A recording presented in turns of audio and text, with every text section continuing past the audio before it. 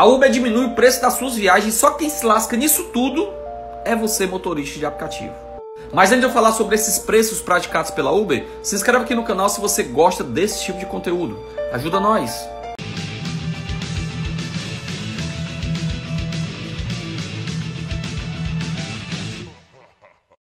Entra ano, sai ano e parece que a forma como os aplicativos tratam seus motoristas não muda. Sempre os seus motoristas achando que, os, que, as coisas podem melhorar, que as plataformas possam remunerar ainda melhor o seu motorista aplicativo e vem a Uber de uma hora para outra, galera, e baixa os preços das suas viagens e não dá nenhum porquê para o seu motorista aplicativo, forçando ele a pegar corridas que se ele fizer, ele não vai ter lucro.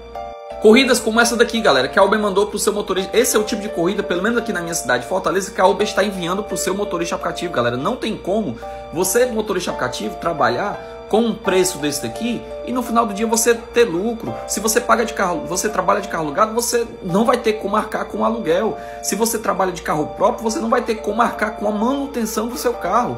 Porque uma coisa dessa aqui, galera, é inadmissível. Olha aqui, galera, indo pegar com 5.7 km, 8 minutos, 18,5 km, né? Para rodar com o passageiro, mais 30 minutos de viagem, totalizando aqui, galera, o total, ó, quase 40 minutos, pagando aqui um real o quilômetro rodado, acho que mais de um real, menos de um real o quilômetro rodado, o cara ganhar, galera, R$ 24,29 Aqui, galera, não, não tem lógica.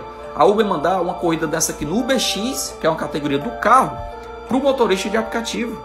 Aí o motorista de aplicativo, galera, acaba ficando refém da Uber. Ele pensa, ah, Romário, eu não vou rodar na Uber. Hoje eu, a Uber tá pagando muito mal, eu vou rodar na 99. Aí vem a 99, galera, e manda esse tipo de corrida aqui para você, motorista aplicativo. Muito pior do que a Uber.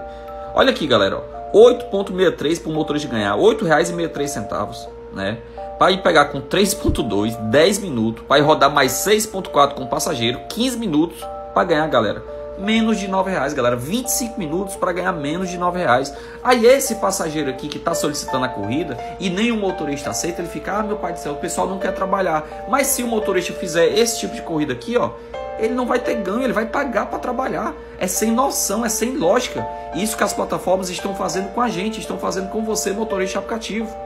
E você, motorista aplicativo, o que é que está achando desses preços praticados pela Uber?